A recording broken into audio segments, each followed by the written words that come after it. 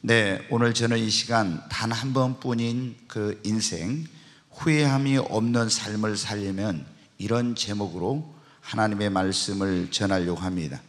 여러분 우리가 이 세상에 살아가면서 아마 한 번도 후회를 안 해본 그런 분들은 없을 거예요. 그때는 몰랐는데 지나놓고 나서 보니까 너무 후회스러운 것들이 많습니다. 그래서 그때 좀 더 잘할 걸 이런 생각. 그래 그런 말 있잖아요. 있을 때 뭐 하라고요? 잘하라고. 떠난 뒤에 후회해봐야 소용없는 거예요. 그 다음에 여러분 우리가 열심히 공부하라 선생님이 또 부모님이 그래도 공부 안 하던 사람들이 나중에 성장해가지고 어때? 아, 내가 그때 좀 더 열심히 공부할 걸. 이러는 이제 후회를 하게 되죠. 또 최선을 다하지 못한 그런 삶을 살아온 사람들이 내가 그때 좀 더 최선을 다할 걸. 아, 누군가에게 어떤 그 어, 이렇게 잘못을 하고 용서를 받지 못한 사람들은 그때 내가 용서를 좀 구할 걸 잘못했다고 이럴 걸. 이제 아, 그거를 용서받지 못한 것이 마음에 내내 걸리고 아니면 어떤 사람이 용서해 달라고 했는데 나는 너를 용서할 수 없어. 그런데 나중에 보니까 내가 그때 용서해 주는 건데 왜 용서하지 못했지? 이런 이제 후회를 하게 되는 경우도 있죠. 또 젊어서 성경을 더 많이 읽을 건데 저도 요즘 그런 걸 느낍니다 아, 눈이 이제 굉장히 제가 양쪽 다 2.0이었는데 지금도 이렇게 어, 가서 재면은 1.5, 1.2 정도 나와요. 그런데 30분만 성경을 보면은 눈이 너무 아픈 거예요. 그래서 어, 전에는 뭐 몇 시간 동안 하루 종일 뭐 성경을 보고 책을 보고 이랬는데 지금은 30분만 성경을 보면 눈이 아프니까 아, 너무 힘든 거예요. 근데 내가 좀 더 눈이 좋았을 때 성경을 더 많이 읽었으면 나름대로 열심히 성경을 읽었지만 그런 아쉬움 좀 더 많은 책을 읽었으면 이런 마음이 드는 거예요.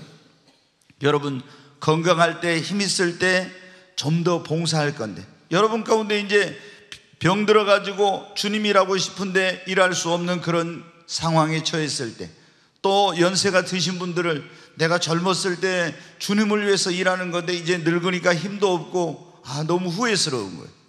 여러분 그리고 이런 경우도 있죠 그때 내가 그 말을 안 했어야 되는데 조금 참았어야 되는데 아니면 어떤 성급하게 어떤 결정을 한 것에 대해서 그 결과가 안 좋아서 내가 그때 좀 더 신중했어야 되는데 내가 그 사람을 만나지 말았어야 되는데 이런 후회함들이 많잖아요.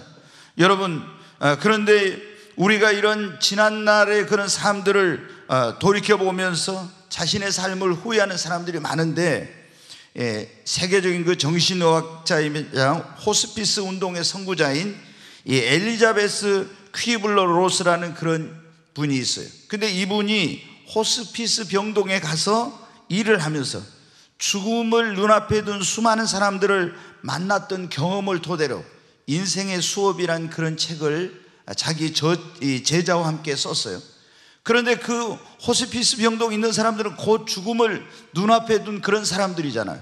근데 거기에 있는 그 많은 사람들이 거의가 대부분이 다 많이 너무 인생을 후회하더라는 거예요. 아, 내가 어, 그때 너무 인생을 살아오면서 가족보다는 일에 그냥 매여가지고 가족과 함께 내가 그런 어떤 좋은 시간들, 행복한 시간들을 갖지 못한 것을 후회한 사람이 너무 많더래요. 그 다음에 사람들의 눈치를 보면서 소신껏 일하지 못한 것에 대한 어떤 사람은 후회. 아니면 좋은 기회가 왔을 때 그 좋은 기회를 놓쳐버린 것에 대한 후회. 또 건강할 때 자기가 의미 있는 삶을 살지 못한 것에 대한 후회. 그리고 더 많이 가지고 있을 때 베풀지 못한 것에 대한 후회 등 많은 그런 후회를 하고 있더래요 여러분 우리가 아, 지금은 건강할지 모르지만 우리도 언젠가 이 세상을 떠나야 될 그런 날이 옵니다. 여러분, 그때 우리는 어떨까요? 정말 후회함이 없는 그런 인생을 살았다고 할 수 있을까요? 어, 우리는 지금 오직 하나밖에 없는 생명을 가지고 단 한 번뿐인 인생을 살고 있습니다. 이 세상에 생명을 두 개를 가진 사람은 아무도 없어요. 그래서 인생에는 연습이 없다 그런 말 있잖아요. 우리가 어떤 어, 경우에는 오픈 게임이라고 하죠. 그런데 이 연습에는 오픈 연습 게임이 없어요. 그냥 본 게임을 하는 겁니다. 그리고 다시 살 수도 없어요, 이건. 단 한 번뿐인. 그래서 우리가 그걸 일생이라고 하잖아요. 사랑하는 여러분, 내 인생은 그 누구도 대신해 줄 수 없고, 내가 남의 그런 삶을 대신해서 살 수도 없습니다. 내 인생은 내가 살고, 나의 길은 내가 가는 거예요. 그런데 이 단 한 번뿐인 인생, 우리가 이 세상을 떠날 때, 그리고 나를 지으신 창조주 하나님 앞에 가서 내 인생을 결산하는 그날 우리가 후회함이 없는 삶을 살아야 됩니다. 사랑하는 여러분, 그러면 이 단 한 번뿐인 인생 후회함이 없는 삶을 살려면 어떻게 합니까? 첫째는 예수 그리스도를 믿고 하나님을 경외하는 삶을 사십시오. 한 번 죽는 것은 정해진 것이요. 그 후에 심판이 있다겠죠?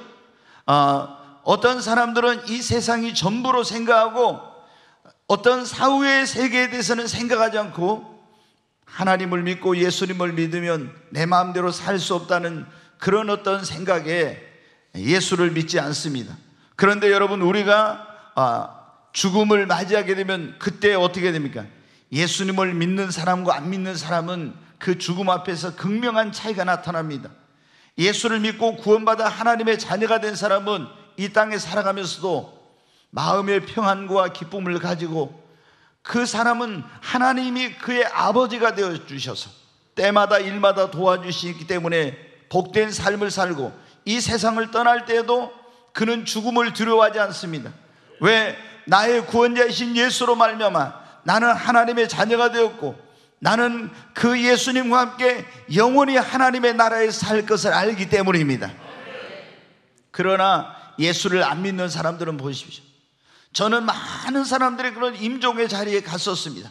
또 죽음을 곧 눈앞에 두고 정말 얼마 남지 않는 그런 생명이 지금 신랄 같은 그런 희미한 아니 꺼져가는 등불 같은 그런 가운데 있는 사람들을 많이 보았어요. 그런데 예수님을 안 믿는 사람은 아무런 소망이 없습니다. 너무나 두려움 속에서 그 죽음을 맞이하는 것을 보게 됩니다.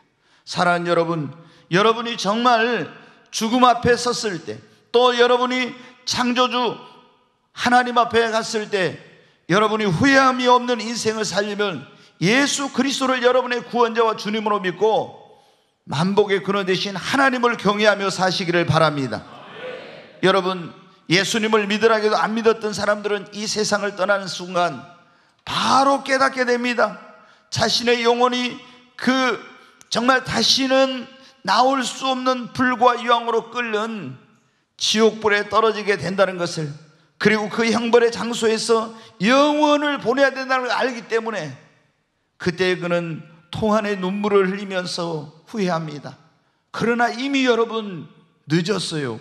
다시는 기회가 없는 것입니다. 아, 그러므로 내가 단 한 번뿐인 인생 후회 없는 그런 삶을 살려면 예수 그리스도를 믿고 구원받아야 됩니다. 하나님의 자녀가 되어 나를 구원해 주신 나를 지으신 하나님을 경외하며 사시기를 바랍니다. 요한복음 5장 24절에 보면 이런 말씀이 있습니다. 같이 읽겠습니다. 내가 진실로 진실로 너희에게 이르노니 내 말을 듣고 또 나 보내신 이를 믿는 자는 영생을 얻었고 심판에 이르지 아니하느니 사망에서 생명으로 옮겼느니라. 여기 보면 예수님께서 하신 말씀이에요. 내가 진실로 진실로 너희에게 이르노니 굉장히 주님께 중요한 말씀을 하실 때는 진실로 진실로라는 말을 꼭 이렇게 강조해서 하셨어요. 내 말을 듣고 예수님의 말씀을 또 나 보내신 하나님을 믿는 자는 뭘 얻었고요? 영생을 얻었고 심판에 이르지 아니하나니 사망에서 생명으로 옮겼느니라. 제가 한 2주 전인가 말씀을 드린 누가복음 16장에 보면 부자와 거지 나사로가 나오는데 부자는 어떻게 하나님을 믿는다고 믿었지만 타락한 생활하고 믿음을 갖고도 하나님을 경외하지 않았습니다.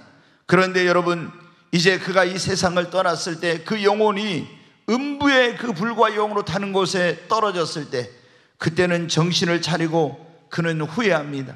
왜 내가 그 세상에 있을 때 하나님을 경외하며 살지 않았던고 하면서 그는 거기서 회한의 눈물을 흘려요. 그래도 여러분 어떻게 돼요? 아무리 후회해도 소용이 없는 것입니다. 여러분, 그래서 마가복음 8장 36절에 보면 사람이 온 천하를 얻고도 자기 목숨을 잃어버리면 무엇이 유익하리요? 여러분, 우리 생명보다 더 소중한 것이 없는데 여기서 그냥 육신의 생명이 아니라 우리 영적인 생명을 말하는데 여러분이 예수 그리스도를 믿고 하나님을 경외하는 그런 삶을 사십시오. 그것이 우리가 단 한 번뿐인 인생 후회함이 없는 삶을 사는 데 있어서 가장 중요한 첫 번째 그런 그 조건입니다.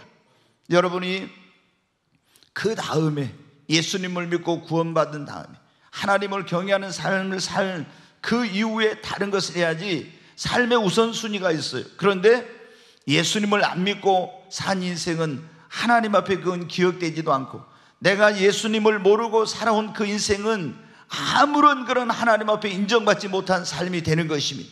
그러므로 오늘 이 자리에 오신 여러분, 여러분이 후회 없는 삶을 위해서 예수 그리스도를 믿고 구원받고 하나님의 자녀로 그리고 여러분을 구원해 주신 그 하나님을 경외하면서 사시기를 주의 이름으로 축원합니다.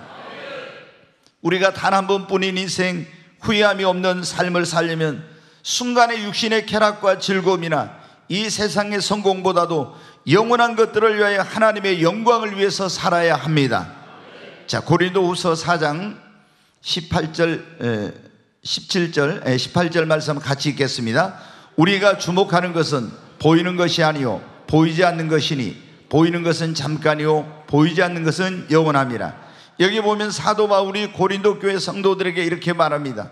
그들은 예수님을 믿었지만 눈에 보이는 것을 쫓아서 살아요. 세상의 성공과 세상의 명예와 쾌락과 어떤 권력과 이런 것들을 추구하면서 사는 거예요. 그래서 사도 바울이 편지를 쓰면서 그런 거예요. 우리가 주목하는 것은 보이는 것이 아니라 보이지 않는 것이라고. 보이는 것.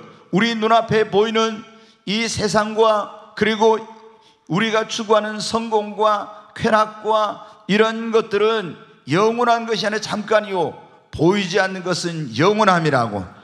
사랑 여러분, 많은 사람들이 이 땅에 눈에 보이는 것, 세상의 성공과 출세와 명예와 그리고 순간의 육신의 쾌락과 즐거움을 따라 살고 있어요.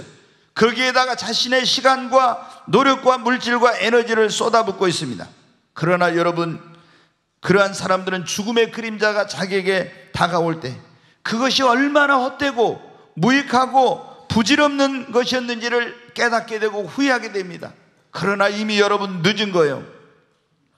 여러분의 지금 시간과 여러분의 그런 열정과 여러분의 그런 물질과 여러분의 에너지를 여러분은 어디에다 쏟고 있습니까? 우리가 지혜왕으로 일컬어지는 솔로몬이라는 사람이 나옵니다. 그는 어린 나이에 13살의 날이 왕이 되었어요. 근데 하나님께 일천 번째 예배를 드리고 정말 전무후무한 그런 하나님께 큰 복을 받았습니다. 근데 이 사람이 어떻게 냐 어, 이 왕이 되고 나서 이런 엄청난 부와 명예와 권세를 갖게 되자 그것을 가지고 하나님의 영광을 위해 살아야 되는데 성전을 건축한 다음에는 그 다음에는 이 사람이 방탕한 삶, 이 세상에서의 쾌락과 즐거움과 이런 것만을 추구하게 살게, 추구하며 살게 됩니다. 그리고 이제 나이가 먹어가지고 자기가 거의 이제 늙어서 죽음이 가까이 왔을 때 그때 깨닫게 됩니다. 그래서 그 참회의 마음을 담아가지고 후손, 후대 사람들에게는 나와 같이 이런 삶을 살지 말라고 솔로몬이 쓴 참회록이 바로 전도사라는 성경이에요. 거기는 이런 내용이 나옵니다. 자신이 했던 그런 일들, 그러면서 그것이 다 지나놓고 보니까 하나님을 떠나서 내가 세상에 그런 추구했던 것들은 다 헛되고 헛되고 헛되더라.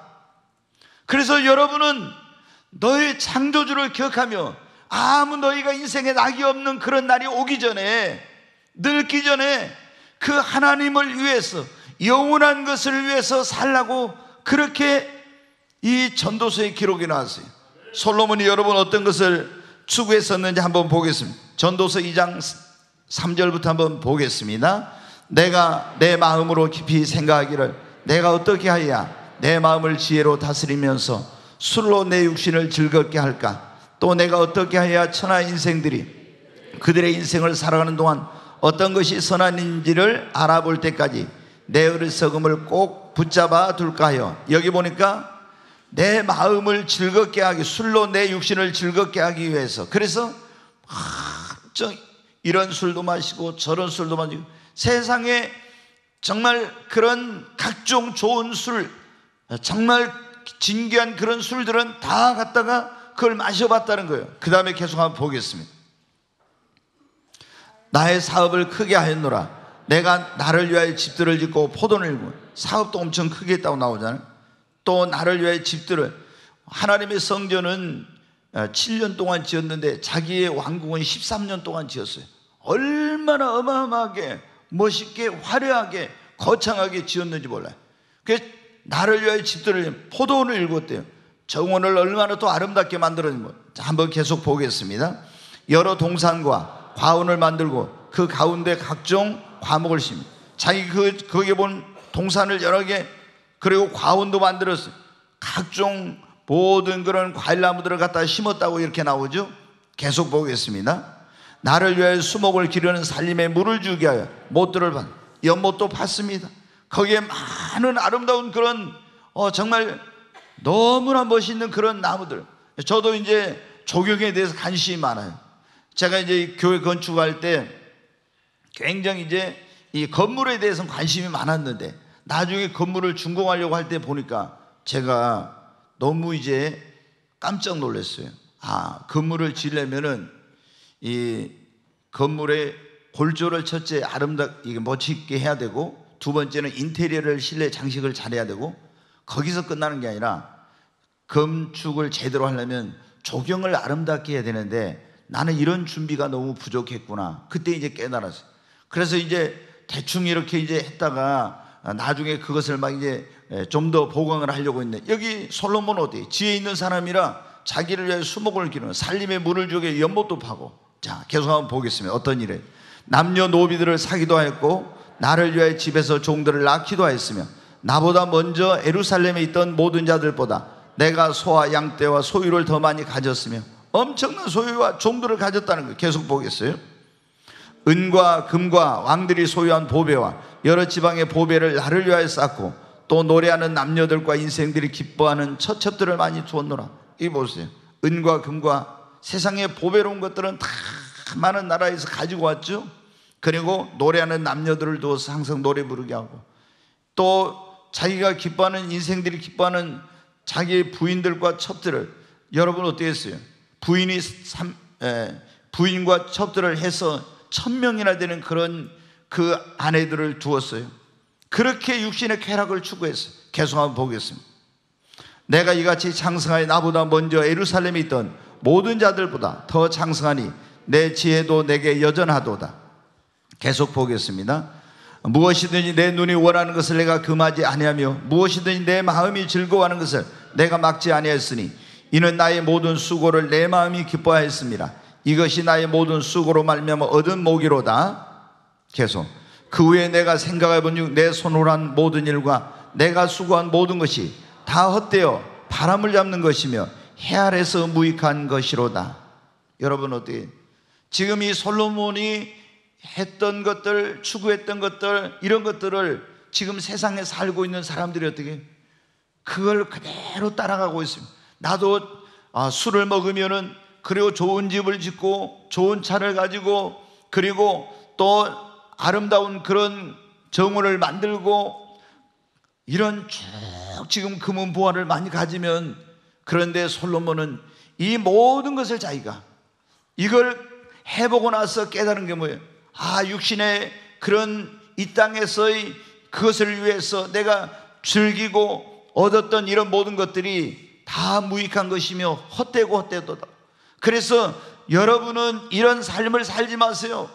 사람의 본분은 하나님을 경외하고 그의 말씀을 지키는 것입니다 하면서 너의 창조주 하나님을 기억하라고 한 것입니다. 사랑하는 여러분, 오늘 이 자리에 오신 여러분은 여러분의 그런 정말 그 인생의 소중한 시간과 물질과 여러분의 에너지를 어디에다 쏟고 있습니다. 우리가 많은 사람들이 순간의 것, 눈에 보이는 것, 이것을 전부로 알고 그것을 추구하고 살고 있습니다. 그런데 그것을 추구한 사람들은 나중에 내가 인생을 끝나게 됐을 때, 하나님 앞에 가게 되었을 때, 얼마나 여러분 후회하게 되는지 몰라요. 여러분, 에서는 하나님께서 주신 그 장자권을 팥죽 한 그릇에 팔아먹고요. 나중에 후회하며 눈물을 흘렸으나 그것을 다시 회복할 기회가 없었어요. 가론 유다는 돈 몇 푼을 얻으려고 예수님을 팔아먹고 신앙을 버렸습니다. 그리고 그는 후회했어요. 얼마나 그는 지금도 지옥에서 통안의 눈물을 흘리고 있습니다. 사랑 여러분, 우리는 이들처럼 살아서는 안 될 것입니다. 영원한 것들을 위해서 살아야 됩니다. 이사야 40장 6절로 8절의 말씀 한번 같이 읽겠습니다. 말하는 자의 소리여 이르되 외치라. 대, 대답하되 내가 무엇이라 외치리까니? 이르되 모든 육체는 풀이요. 그의 모든 아름다움은 들의 꽃과 같으니. 계속 보세요. 풀은 마르고 꽃이 시듬은 여호와의 기운이 그 위에 불미라. 이 백성은 실로 풀이로다. 풀은 마르고 꽃은 시드나. 우리 하나님의 말씀은 영원히 서리라 하라. 네 6절 말씀 한번 다시 보여주세요. 여기 보면 모든 육체는 뭐와 같다고요? 풀과 같고 그 인생의 모든 아름다움 그 영광은 들에 있는 꽃과 같다고 했습니다 그래서 풀이 마르고 꽃이 떨어진 것처럼 우리 인생의 이 아름다움도 우리가 이 세상에 얻었던 그런 명예와 그리고 영광과 이런 모든 것들도 꽃이 떨어지는 것처럼 얼마 가지 못해서 떨어진다는 거예요. 사랑 여러분, 그래서 여기 지금 하나님께서 이사야 선지자를 통해서 하나님의 백성들에게 무엇을 위해서 살아야 될까? 너희가 잠시 잠깐이면 시들어질 그 육체를 위해서 너희가 그 꽃의 아름다움 같이 곧 떨어지고 말 그런 세상의 헛된 것들을 위해 살지 말고 영원한 것에 소망을 두고 살라고 말씀하고 있습니다. 사랑 여러분, 우리는 썩어 없어질 것이 아니라 썩지 아니할 영원한 것들을 위해서 나의 시간과 나의 물질과 나의 에너지와 나의 열정을 거기다 쏟아 부어야 하는 것입니다. 그렇지 않으면 나중에 하나님 앞에 갔을 때, 아, 내 인생이 너무 헛된 삶이었구나. 너무 무익한 것에 나의 인생을 허비했구나 하면서 후회해봐야 이미 여러분 소용이 없어요. 예, 그래서 고린도 교회 성도들이 예수님을 믿지만 보이는 것을 쫓아가니까 사도 바울이 그런 것에 대해서 우리는 보이는 것을 주목하는 거예요. 보이지 않는 것. 보이는 것은 잠깐이고 보이지 않는 것은 영원한 거니까 영원한 것에 소망을 두고 살라고 하면서 우리가 주를 위해서 헌신하고 봉사한 것들이 어떻게 될 것인가에 대해서 권면했어요. 거기 고린도전서 15장 58절 말씀을 보겠습니다. 같이 읽겠습니다. 그러므로 내 사랑하는 형제들아 견실하며 흔들리지 말며 항상 주의 일에 더욱 힘쓰는 자들이 되라. 이는 너희 수고가 주 안에서 헛되주 헛되지 않은 줄 알미라.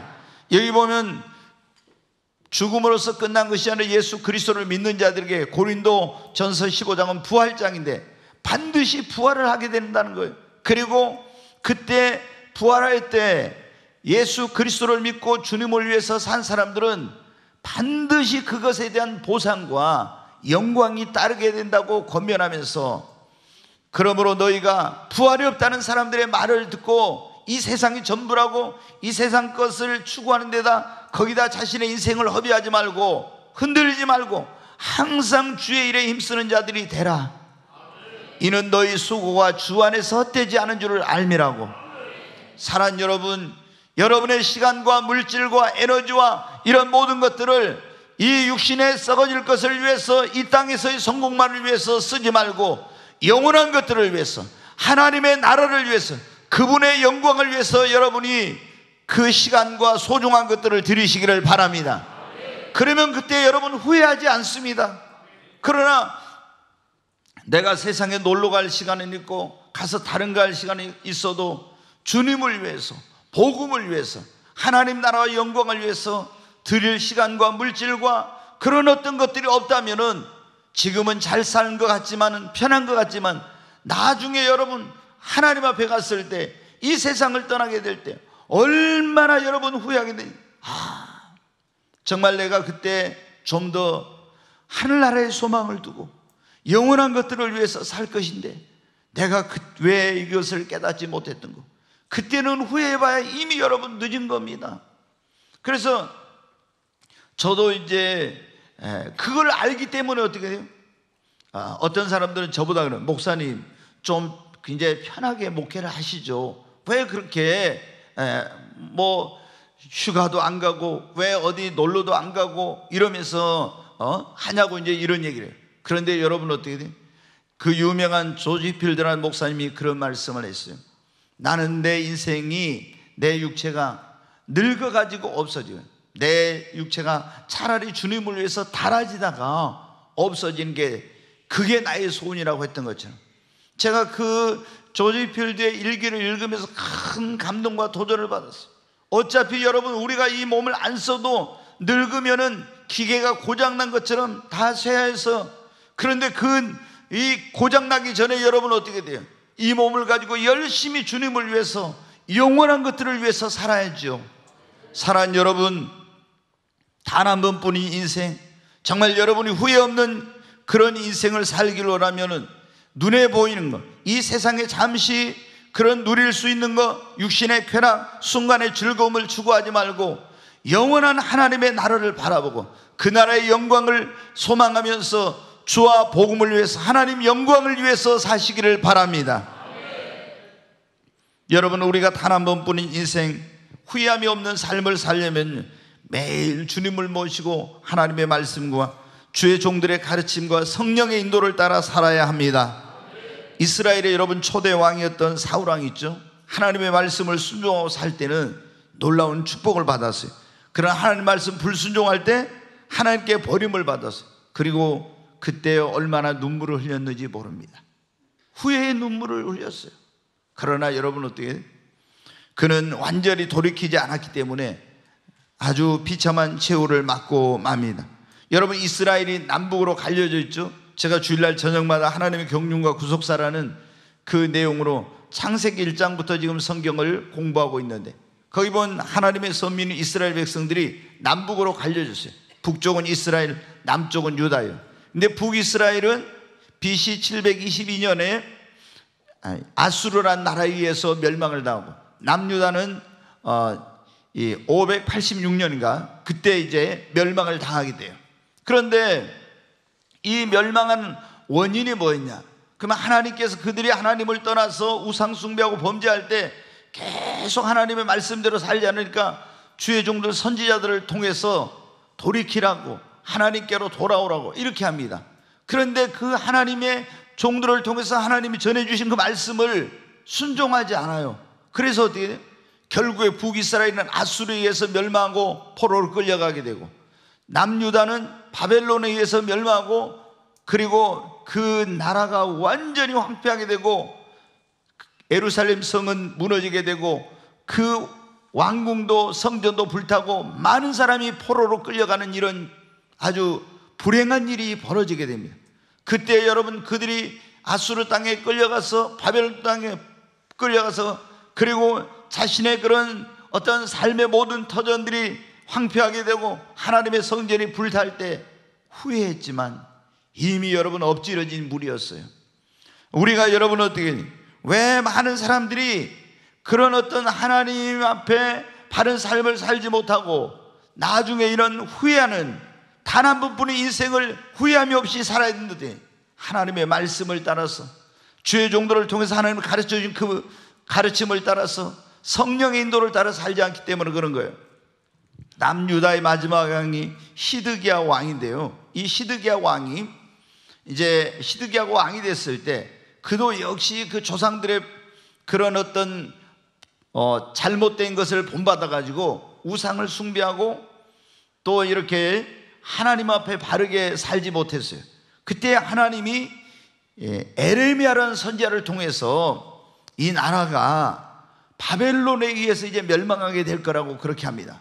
그러면서 당신이 바벨론 군대가 와서 이 성을 에워싸거든 항복하고 그들 앞에 나가서 긍휼을 구하라고. 그러면 하나님이 바벨론 왕의 마음을 움직여 가지고 당신을 불쌍히 여김을 받게 할 거라고 이렇게 이제 에레미야를 통해서 하나님께서 말씀을 주셨어요. 그런데 정말로 이제 얼마 있지 않아서 바벨론 군대가 쳐들어와 가지고 이 이스라엘의 수도인 에루살렘을 포위를 해 가지고 2년 동안 이 어, 성주의를 포위하고 있는 거예요. 그러니까 2년이 지나니까 그 안에 있는 모든 식량이 다 떨어져서 밤에 더 이상 이제는 견딜 수가 없으니까 자식을 삶아 먹고 와 이런 정도까지 이르게 된 거예요. 그래서 어떤 성 한쪽을 헐고 밤중에 모르게 이제 도망을 칩니다.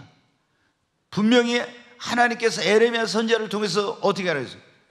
시드기야 왕에게 바벨론 왕에게 항복을 해라. 그러면은 내가 너에게 긍휼을 입게 해줄 거라고 이렇게 했어요. 근데 하나님의 종을 통해서 주시는 그 말씀을 순종하지 않고 버티다가 모르게 도망을 치다가 이제 붙들려 가지고 어떤 일이 일어나는지 한번 에레미야 52장 있는 말씀 한번 보겠습니다. 같이 읽겠습니다. 갈레아 군대가 그 왕을 뒤쫓아가서 여리고 평지에서 시드기야를 따라 잡음에 왕의 모든 군대가 그를 떠나 흩어진지라. 보면 갈대아 바벨론 군대를 말하는데 그 시드기야가 도망치는데 그 왕을 쫓아 여리고 평지에서 시드기야를 잡았어요. 그 왕을 유다의 왕. 왕의 모든 군대가 그러니까 다 흩어졌습니다. 그러고 나서 어떤 일이 구절 계속 보겠습니다. 그들이 왕을 사로잡아 그를 하마 땅 리블라에 있는 바벨론 왕에게로 끌고 가매 그가 시드기야를 신문하니라. 이제 그 바벨론 군대가 유다의 왕이 시드기야를 잡아가지고 아, 하마 땅 리블라에 있는 바벨론 왕 느부갓네살 앞에 끌고 왔더니 느부갓네살 왕이 시드기야를 신문을 하는 거예요. 10절 계속 보겠습니다. 바벨론 왕이 시드기야의 아들들을 그의 눈앞에서 죽이고 또 리블라에서 유다의 모든 고관을 죽이며 여기 보십시오. 어, 바벨론 왕이 시드기야의 아들들을 다 그 자기 눈앞에서 죽여요. 그리고 유다의 모든 고관들을 다 높은 사람들을 다 죽입니다. 그 시드기야 눈앞에서. 그 다음에 또 어떤 일이는 11절. 시드기야의 두 눈을 빼고 노사슬로 그를 결박하여 바벨론 왕이 그를 바벨론으로 끌고 와서 그가 죽는 날까지 오게 가두었다. 시드기야의 눈을 뽑았다 했죠. 두 눈을. 쇠사슬로 노사슬로 결박해 바벨론으로 끌고 가지고 감옥에 넣어놓고 죽을 때까지 그래. 그때 여러분 어떻게 돼요? 시드기야가 어떻게 했을까? 그 감옥에서 자신의 눈앞에서 하나님께서 그 선지자를 통해서 하신 말씀을 불순종함으로 그 왕에게 긍휼을 입지 못하고 자신들의 자기의 그 자식들이 다 죽을 때 고관들이 다 죽임을 당하고 그리고 두 눈이 뽑히고 노사슬로 결박을 해서 바벨론으로 질질 끌려가서 감옥에 갇혀 서 죽을 때까지 있을 때 계속 통안에 눈물을 흘리면서 후회했습니다. 왜? 내가 왜 그때 하나님의 종을 통해 주신 하나님 말씀에 순종할 것인데 왜 내가 불순종했던 왜 불순종했던 거? 죽을 때까지 후회하다가 그렇게 눈물을 흘리며 그렇게 하다가 여러분 세상을 떠난 거예요. 왜 여러분 이런 일이 일어났습니까? 하나님께서 하나님의 말씀을 통해서 어 하나님께서 그 종을 통해서 주신 말씀을 불순종함으로 이런 일이 일어나게 된 거예요. 오늘 잠언 5장 11절에도 이 말씀 한번 다시 보세요. 예, 여기 보면은 솔로몬이 잠언은 기록했어 지혜 왕이. 근데 솔로몬은 조금 전에 말씀드렸지만 육신의 쾌락과 이런 것들만 추구하며 살았던 삶이잖아요. 그런데 나중에 그걸 깨닫고 여기 보면은 후세 사람들을 위해서 지혜로운 삶이 뭔지를 기록해 놓았는데 두렵건대 마지막 이르러 네 몸, 네 육체가 생각할 때 네가 한탄하여. 그러니까 네가 이제 병들고 나이가 먹어서 죽기 전에 네가 쇠약하여 한탄하여 그 말입니다. 12절 보겠습니다. 말하기를 내가 어찌하여 훈계를 싫어하며 내 마음이 꾸지람을 가벼이 여기고 계속 내 선생의 목소리를 청종하지 않으면 나를 가르친 이에게 귀를 기울이지 아니하였던 고 14절까지 보겠습니다. 같이 읽습니다. 많은 무리 중 무리들이 모인 중에서 큰 악에 빠지게 되었노라 하게 될까 염려하노라. 여러분 오늘 여러분이 지금 이 강단에 선포된 하나님의 말씀을 듣고도 여러분이 기록된 성경 하나님의 말씀을 읽고도 성령께서 여러분에게 하시는 그 음성을 듣고도 여러분이 그 하나님의 말씀대로 성령의 인도를 따라서 주의 종의 가르침을 따라 살지 않게 되면 어떻게 된다고요? 내 몸이 내 육체가 쇠약하여 아무 소망이 없다고 할 때 내가 이 세상을 떠나게 될 때 반드시 우리가 후회하게 된다는 거예요. 여러분 후회 없는 삶을 살려면 우리는 하나님의 말씀과 하나님의 종들의 가르침과 성령의 인도를 따라서 살아야 합니다. 마지막 날 하나님이 우리를 심판할 때 뭐로 심판하냐? 요한복음 12장 48절에 보면 이런 말씀이 나옵니다. 같이 한번 읽겠습니다. 나를 저버리고 내 말을 받지 아니하는 자를 심판할 리가 있으니 곧 내가 한 그 말이 마지막 날에 그를 심판하리라. 여기 보면 예수님께서 마지막 날 우리가 심판을 받을 때 하나님이 우리를 무엇으로 심판한다고요? 그 말씀으로 그 말씀을 따라서 살았느냐 그랬지 않느냐 말씀을 가지고 우리를 심판한대요. 그렇기 때문에 우리가 하나님 앞에 후회 없는 삶을 살려면 오늘 하나님의 말씀을 따라서 살아야 됩니다. 하나님 앞에 갔을 때 그 심판의 기준이 뭐냐? 하나님의 말씀을 따라서 살았느냐, 안 살았느냐? 하나님의 그 종이 가르치는 하나님의 말씀, 전해주는 말씀을 따라 살았느냐, 안 살았느냐? 하나님이 보내신 성령을 쫓아서 살았느냐, 안 살았느냐? 이걸 가지고 내가 심판을 받아서 거기서 상급을 받기도 하고 또 하나님의 진노를 받기도 하게 된다는 거예요. 그러므로 우리가 이 한 번뿐인 이 인생, 정말 인생을 후회 없이 살려면은 반드시 여러분 하나님의 말씀과 하나님의 종들의 가르침과 성령의 인도를 따라 살아야 합니다. 자, 오늘 좀 여러분 무거운 말씀을 듣고 있는데 우리가 단 한 번뿐인 인생 후회함이 없이 살려면요. 한번 따라서 하죠. 선택을 잘해야 합니다. 선택을 잘해야 합니다. 네, 그래야 후회하지 않고 선택을 잘못하면 나중에 정말 크게 후회하게 돼요. 여러분 가운데 그런 분들이 있을 거예요. 어떤 선택을 잘못해가지고, 아, 내가 그때 왜 그거를 선택했지? 다른 길이 있었는데. 그 잘못된 선택 때문에 어떻게 후회하게 되죠? 성경에 보면 여러분 어떻게 룩과 오르바라는 그런 여인이 나옵니다.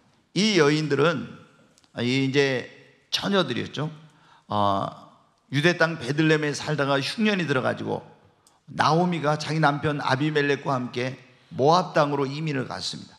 두 아들을 데리고 이민을 가서 거기서 그 모압에 있는 처녀들하고 자기 아들들을 결혼을 시켰어요.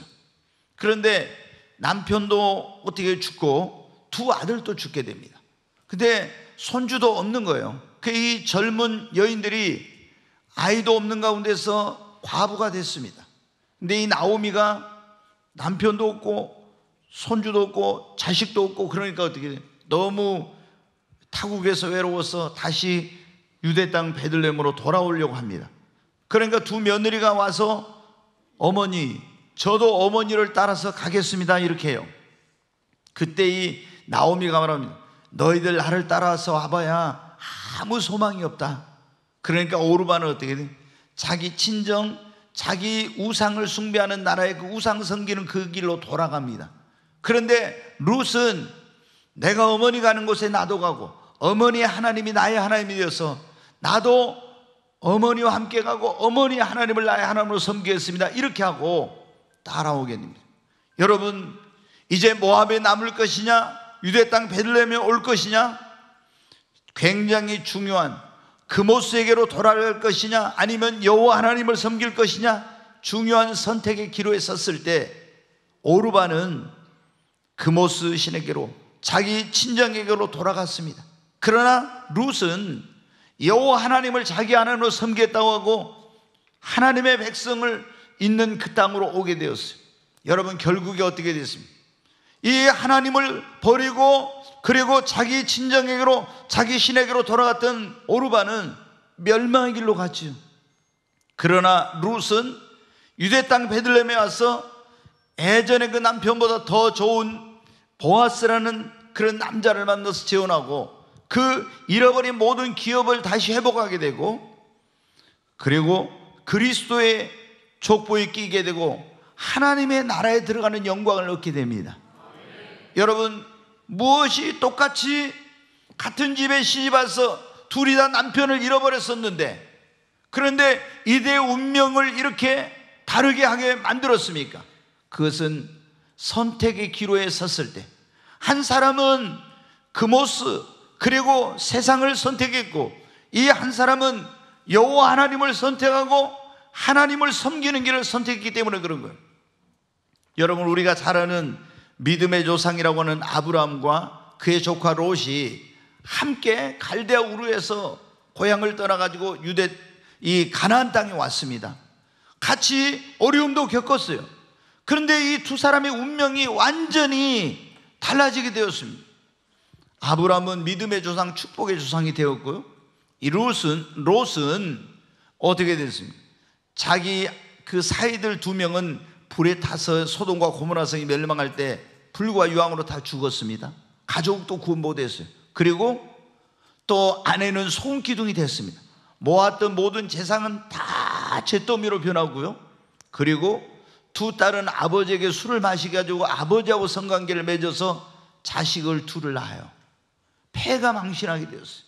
여러분 똑같이 같은 시기에 하나님을 믿고 같이 고향을 떠나서 약속의 땅으로 왔었는데 왜 이런 이렇게 삶이 달랐습니까? 여러분 거주지를 어디로 정해야 될 것인지 그 선택을 해야 될 때 아브라함은 하나님을 섬길 수 있는 그곳 약속의 땅 믿음으로 살 수 있는 곳 그리고 정말 그 하나님의 음성을 듣고 선택했지만 롯은 여러분 어떻게 했냐?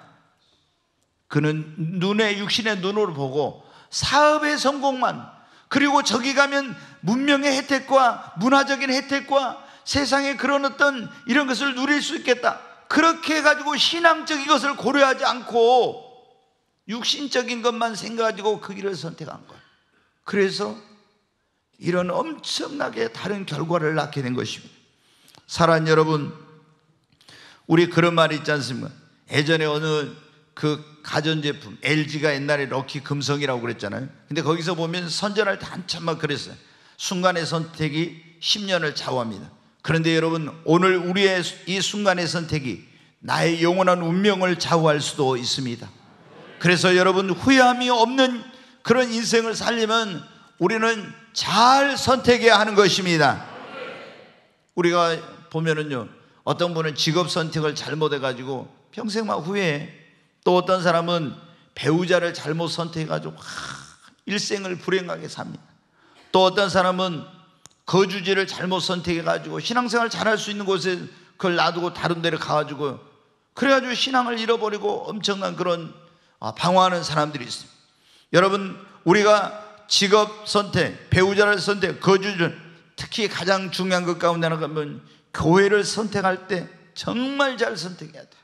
여러분 보세요. 기도하지 않는 교회, 성령 역사하지 않는 교회, 혹은 이단 교회 이런 교회를 선택한다면 여러분 영혼이 어떻게 되겠습니까? 단 한 번뿐인 인생 정말 불행하게 되는 것입니다.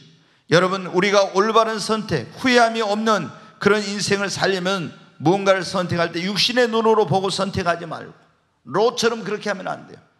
어, 육신의 생각으로 판단하고 선택하면 안 돼요. 오르바는 육신의 생각으로 판단하고 그런 거예요. 기도하고 신중하게 하나님의 음성을 듣고 선택하시기를 바랍니다.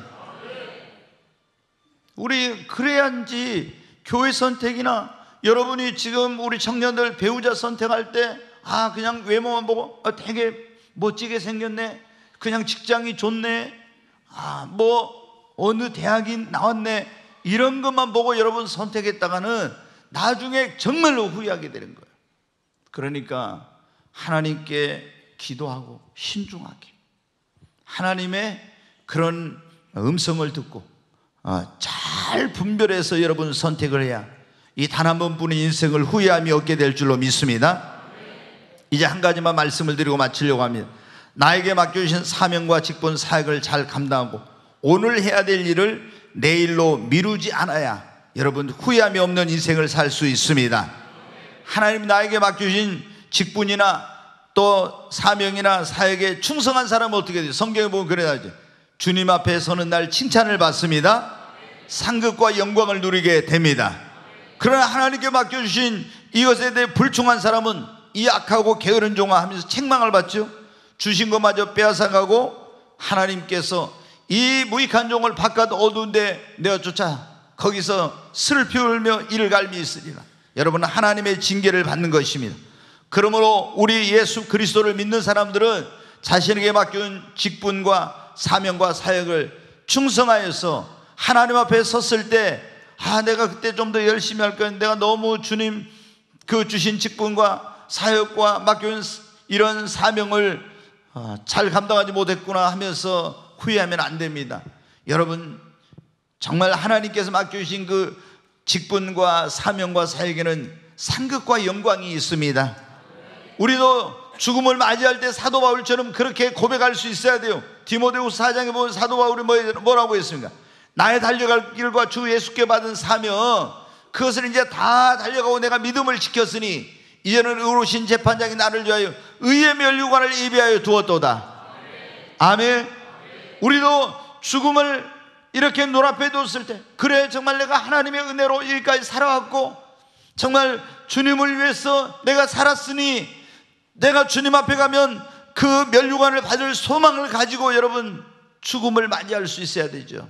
그런데 그때 죽음의 자리에서 내가 왜 그때 아, 주님 맡겨주신 그런 일에 게으르고 충성하지 못하고 이런 너무나 그런 헛된 것을 추구하면서 살았을까? 여러분 그때 후회봐야 소용없는 거예요. 지금 후회하지 않도록 오늘 여러분에게 하나님께 주신 직분과 사명과 사역에 여러분 충성하시기 바랍니다. 그리고 오늘 해야 될 일을 내일로 미루지 말아야 합니다. 여러분 아직 구원받지 못한 분이라면 오늘 여러분이 구원받으시기 바랍니다. 아, 나는 아, 뭐 내년부터 예수 믿을 나는 늙어서 예수를 믿을 여러분 안 돼요. 보라 지금이 구원받을 만 보라 지금이 은혜 받을 때라고 했습니다. 오늘이 여러분 지금이 여러분 구원받을 시간입니다. 이 문 앞에 나가서 여러분이 5분 후에 어떻게 될지 몰라요. 저는 이제 목회하면 그런 거 보죠. 어, 다음 주에 보자고 했는데 그 다음 주에 볼수 없게 됐어요. 청년인데. 제가 정말 충격을 받았던 게 그거예요. 우리 그때 부목사님 여기 사모님이 대학 다닐 때 친구를 전대회 갖고 왔어요. 근데 제가 상담을 했는데 상담을 안 해달라고 했는데 그날 교회 굉장히 복잡한 일이 생겨가지고 제가 어, 다음 주에 이제 이 구원 상담을 하려고 그랬어요. 근데 다음 주에 안 나왔어요. 제가 물어봤습니다. 왜 그 친구가 안 왔냐고 이렇게 물어봤더니 그때 이 친구가 대학 다닐 때인데 잠자러 들어갔어요. 근데 아침에 학교 가야 되잖아요. 안 일어나니까 엄마가 불렀어. 불러도 대답이 창문을 열어보니까 그때 스무 살인가 스물한 살 먹은 애인데 아이가 저녁에 심장마비로 죽은 거예요. 너무 저도 그때 충격이 컸어요. 아, 내가 그때 이 아이에게 복음을 전해서 구원받았으면 이 아이가 천국 갈 수 있었을지 모르는데 내가 이제 에스겔 33장에 그 말씀이 생각이 나더라고. 파수꾼이 어, 그 위험이 오는 것을 알려줬는데 자기가 그걸 듣고도 그 방비를 안 해가지고 이제 어려움을 당하면은 그것은 파수꾼의 책임이 아니에요. 그런데 그 어려움이 오는 것을 알려주지 않고 이 사람이 죽게 되면은 방비하지 않아가지고 죽게 되면은 파수꾼의 책임이야. 내가 그 핏값을 내게서 찾으리라 그랬잖아요. 제가 굉장한 두려움이 그때 오더라고. 그래서 내가 그 다음부터 다음에 예수 믿으세요. 그걸 너무나 큰 충격을 받아가지고 아 천천히 그래요. 너무 지금 시간 없으면 다음에 안 해요. 여러분 예수 그리스도를 믿고 구원받는 것보다 더 시급한 것이 없어요. 아멘. 여러분 오늘 여러분이 영원히 후회하지 않으면 가장 중요한 것은 예수 그리스도를 믿고 구원받는 것입니다. 그래서 아직 여러분 가운데 구원받지 못한 그런 분들이 있습니까? 오늘 지금 이 시간 예수님을 여러분 구원자로 주님으로 믿으시기 바랍니다. 만약에 예수를 믿었는데 죄를 짓고 회개하지 않는 그런 사람이 있습니까? 지금 회개해야 됩니다. 내가 여러분 주님을 섬겨야 되겠다 하면 내년부터가 아니라 지금부터 주님을 섬기십시오. 여러분 봉사하고 싶은데 저는 내년부터 아니에요 여러분 지금부터 여러분 미루지 말고 지금부터 주를 위해 봉사하십시오. 누군가 여러분 사랑해야 될 사람 있으면 나중에가 아니라 지금 여러분 사랑하시기 바랍니다. 네. 호스피스 병동에 있는 분들이 그랬다는 거예요. 아, 내가 그때 사랑해야 될 때 사랑하지 못한 거. 너무 많이 후회하더래요. 여러분, 주님을 위해서 헌신하는 것도 나중에 헌신이 아니라 지금 여러분이 헌신하시기 바랍니다. 누군가를 여러분이 돕고 구제하고 싶다면은 나중에 아니라 지금 하시기를 바랍니다.